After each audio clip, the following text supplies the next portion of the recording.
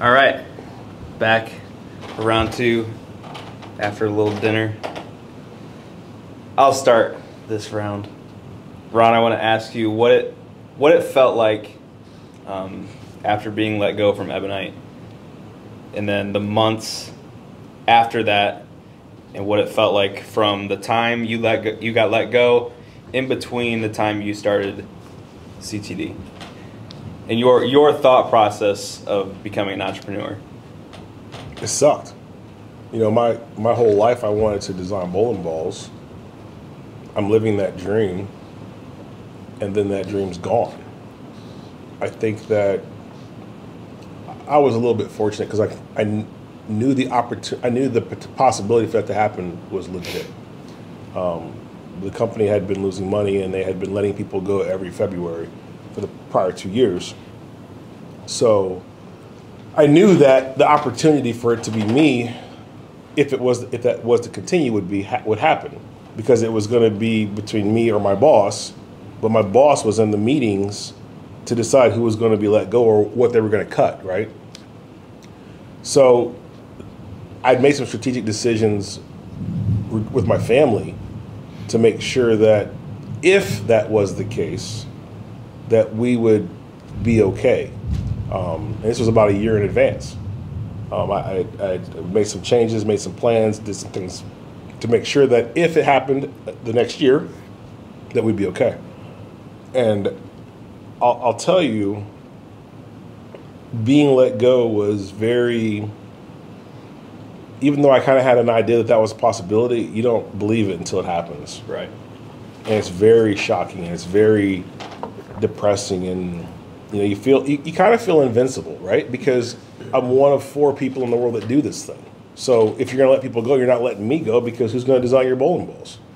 And they're like well we're letting you go. And you're like oh wow this is like really sucks. And now you pigeonhole yourself because you're one of four people that designs bowling balls which really means you can't do nothing else right? Like that's what you do.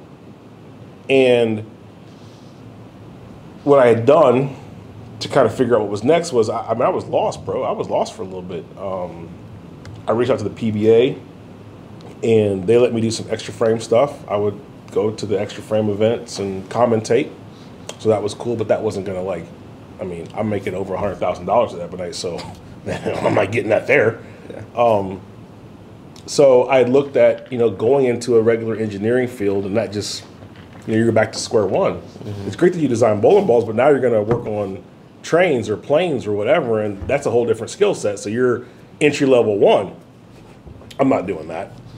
Um, but what I did was I actually had a, a on my at my house I took these gigantic post-it notes and I wrote down options to, of places to work for. I had USBC on there. I had Storm on there. I had all these companies, all these different options, and every day I'd come down and I would just cross one off. And ultimately, I, I had a head. I had had a headhunter that was looking for a job and was getting opportunities, but nothing I was passionate about. And I was passionate about this bowling thing. Like I love doing this bowling thing, right? So it was like, well, you know, like these other things don't don't make me passionate. So, you know, I got to do something I'm passionate about. And uh, at the time, I'm pretty broke because now I, I have no income. I got I'm getting four hundred dollars every two weeks or one week. I don't remember from uh, unemployment. I mean, it's, it's nothing. Like it didn't even pay groceries, but whatever. Um, and so what I'm doing is I'm I'm hustling my living, bowling and sponsoring.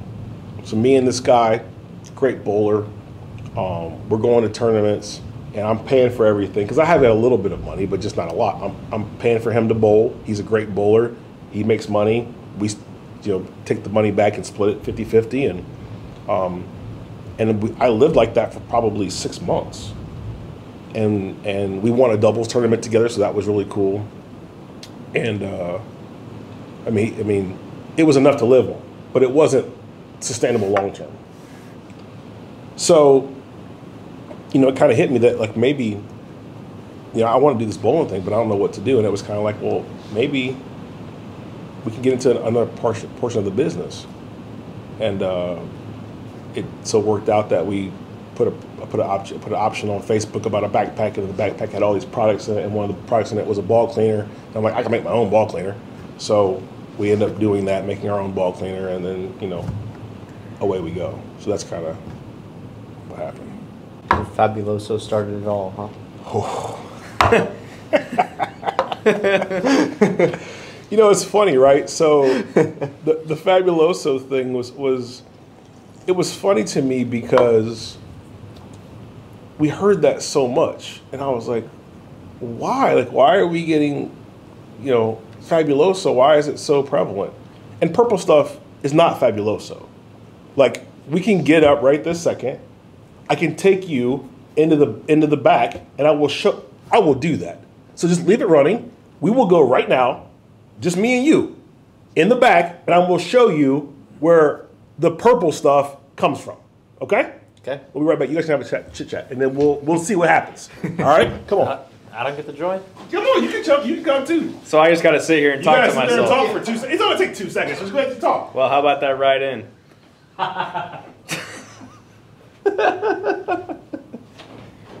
oh man. We appreciate you tuning in. We'll be back once they uh, get back from seeing where the purple stuff comes from. Stay tuned. Leave me out in the cold. They leave me out in the cold.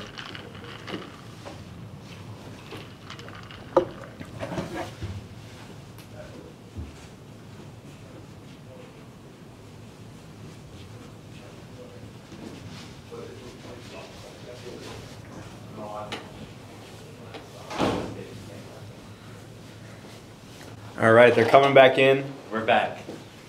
leaving me out in the cold. Yep. Yep. So, Somebody had to. what's the verdict? That is definitely not fabulous. So. Yeah. well, we never thought that anyway, but you know, Right, we gotta gotta jab.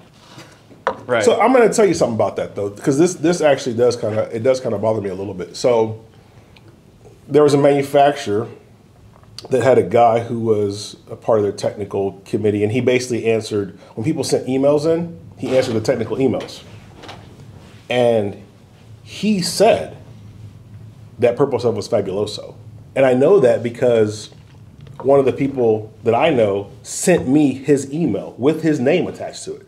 It was blah blah blah technical director. And that was this whole building of this whole fabuloso thing. It is you know, it's frustrating on one half, but the other half of it it was kind of funny because it was like, well, if you actually I actually shot a video using fabuloso. I was gonna I was gonna I was like, well, this is I'll just I'll show everybody the whole world we do this with everything else we do. And I have a, I have a mentor, and he said, he said, don't put, don't publish that video. And I said, why not? I said, we can sh- show people that purple stuff is not fabuloso, and as a matter of fact, if you use fabuloso on your bowling ball, it skates and doesn't hook. I, I can prove that. And he goes, how many people do you think really care? And I said, maybe one or two percent. He said, so 98% of the people don't care if it is fabuloso. I said, probably. He said, so you're going to make a video to talk to 2% of the people that don't like you anyway. So no matter what you say, they don't like you. So why would you pander to that? And I was like, all right, so that video stays unlisted in private. But that's kind of that's kind of how that happened. Hmm. You heard Fabuloso? No. What'd you think? I mean, I don't really use ball cleaner, so to be honest with you, I was like, if it is or it isn't, I'm not like not using it. I don't. I mean, like it is what it is. Like, I literally just smelled and saw what it was, so. No, it's not. Yeah. yeah. What'd you think? I mean, you I mean you got the passion. What did you think? Well, again, I don't use ball cleaner either.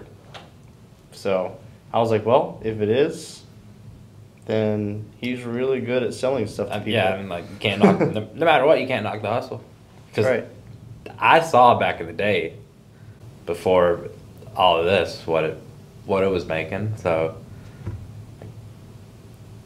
whatever it is, is obviously something that was working. Like, how much money are people going to spend on something that doesn't work? Right. Yeah. So um, I mean, it didn't affect me in any way. Um, I was just like, okay, whatever. If it is, great. He's selling a lot of it. so if he is selling Fabuloso, they're happy. Well, I'm curious to see what you what did you think about that? I mean, I never, I never had any any doubts. Like, I mean, I obviously I saw it because I was, I got in pretty close to the beginning, so I was able to see the progression of purple stuff, TR, HM, all of that. But I never, personally, I never had a doubt of it. I, I mean, obviously, I knew. You go on any forum and search Ron Hickland, CTD, whatever, you're gonna find something.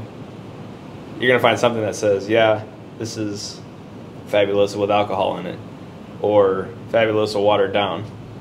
But at the end of the day, once you understand what is in it, you see the safety sheets. There's no question. And I feel like there's a certain certain level of ignorance if you say, "Yeah, this is fabuloso," but you have nothing to back up your claim. So there's really only one person that can prove what it is, and that's the person that's making it. So, and that goes Yeah. the same with bowling balls. We don't know what it is. Person who actually makes bowling balls knows what it is. Right. Right. It's any other Right. product, you know. So I want to ask another question, and I think this would be it'd be good to see two different opinions here. So the radical video.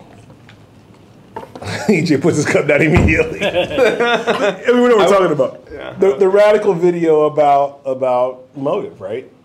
So I, I'm kind of curious because two different company guys. What's your thoughts? What's your opinions on that? What what what went through your mind? Since y'all called me fabuloso, so Um, I'd say since really with him. Uh, I mean, I looked at it as if you want to call it, a, if them trying to say that they have a bad product, you're sure, like, I don't understand why you would basically try to sh- compare it to a quote unquote bad product instead of just showing like, here's my ball and use my facts because I've all I don't know. Ball videos to me have always been a little iffy. I think we can like, you know, all can agree on that. Yeah. Um,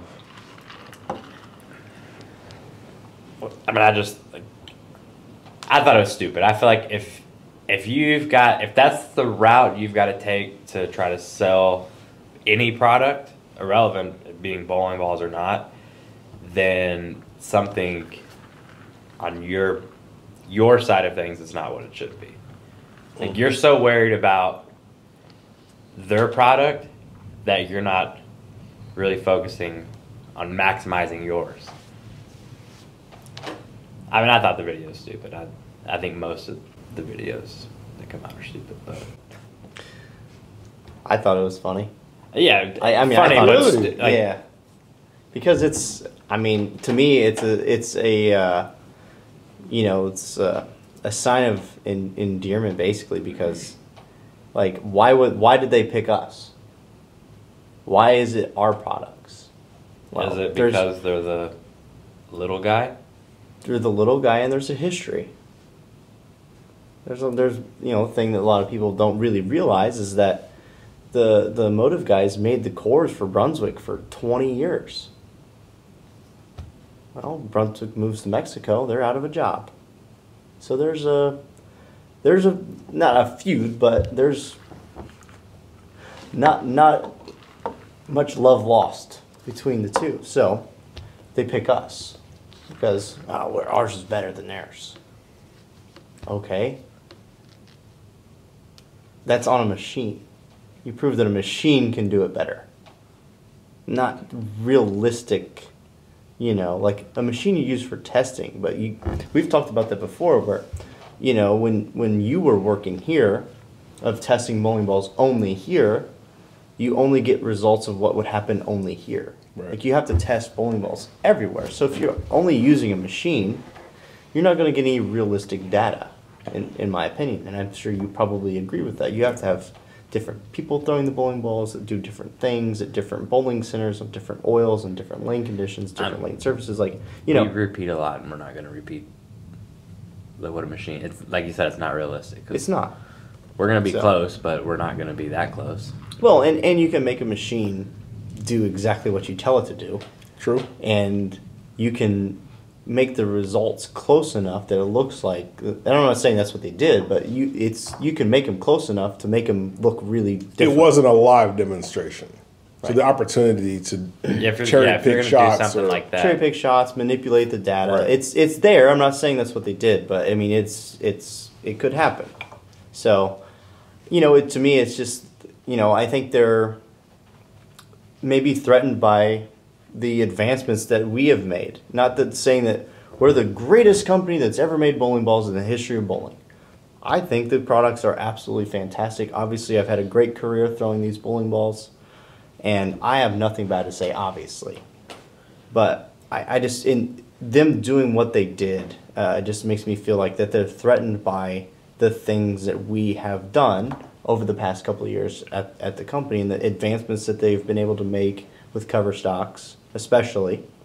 And um, I just I, I feel like they just are a little threatened by that, and that's why they another reason why they chose us rather than Storm or Roto or you know 900 or well, that's it. yeah. yeah, that's But now we it. have, they're swag now. Yeah.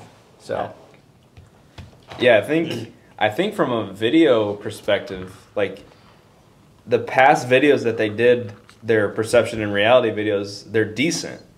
Like they actually show you a comparison mm-hmm. and they don't knock a product.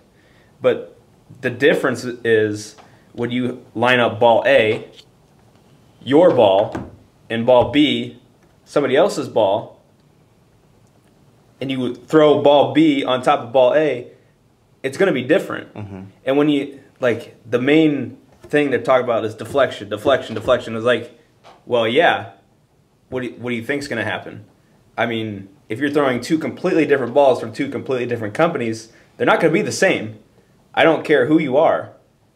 But when you get to the point where ball A is hitting the pocket, but ball B is Not making it up the hill. deflecting, not making it up the hill, Yeah. the normal person is going to be like, okay, let's do something different. yeah, If you're strictly comparing them, great. But it's when you start talking about this ball from this other company just couldn't get up the hill or hit the pocket but left three flat tens in a row. I mean, I just, what do you think? I mean, I've been a fan of the perception versus reality videos because I felt like it was a way to kind of quantify what they were seeing. I thought that that video was absolutely garbage. I think it was garbage because instead of just letting the video be the video and show the shape that it was going to sh- show, it was all this additional commentary. It was all this additional petty talking. It was all this additional added stuff that just served to degrade bowling. Mm-hmm.